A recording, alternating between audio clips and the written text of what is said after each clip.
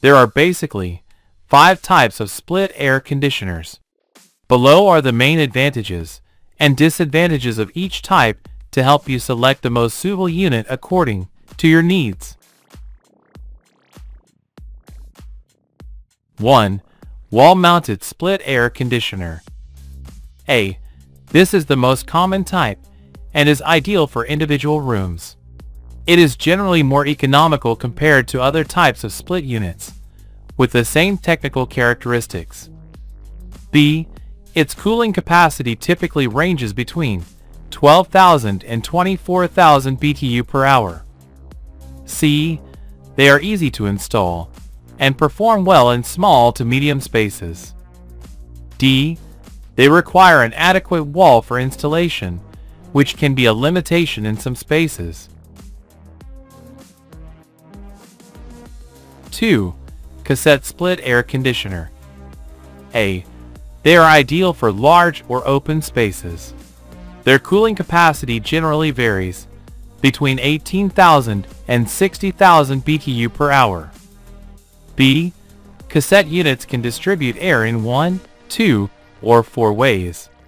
Being ceiling mounted, they can be installed in the center of the room, facilitating air distribution and avoiding hot spots.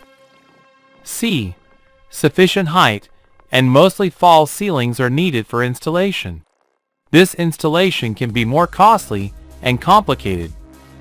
D. Check the availability of electrical connections. E. Due to their location, they generally have complicated maintenance access. F. There are low-profile cassette units, designed specifically to fit in narrow false ceiling spaces.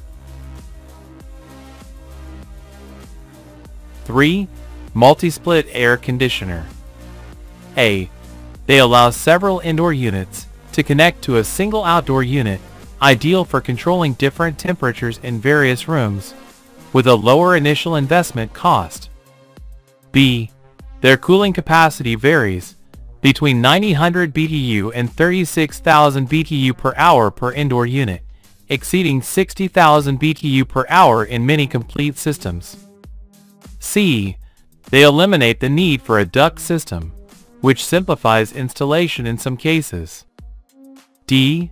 As a disadvantage, depending on the length of the pipes, there may be a higher risk of refrigerant gas leaks and a decrease in efficiency due to pressure loss in the compressor suction when the pipe from the indoor unit is very long. E. They avoid the use of multiple outdoor units, compared to using several individual air conditioners. 4. Ceiling or floor-mounted split air conditioner. A. Floor-mounted units are ideal for rooms without an adequate wall for a wall-mounted or ceiling split. B. Floor-mounted units are easy and quick to install. C. Ceiling-mounted units are generally located near a wall to facilitate pipe installation, so their installation is independent of the room's false ceiling. D.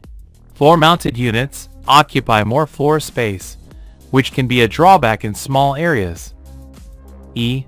Floor-mounted units are easier to maintain, though they are at a higher risk of damage from impacts. F.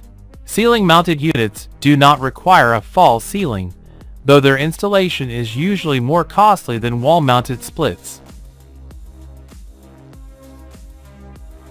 5. Duct split air conditioner. A. The indoor unit is connected to a duct system to distribute cold air in various areas. B. Installation is generally hidden from the user and has a higher installation cost compared to splits. C. They generally have a lower risk of gas leaks due to the shorter pipe lengths compared to multi-split systems. D. They require ceiling space. E. As it is a single unit, there is less chance of failure, but since it is generally used to cover multiple zones, when maintenance is needed, all areas remain unconditioned. F. All electrical connections are centralized at a single point, avoiding connections in multiple areas.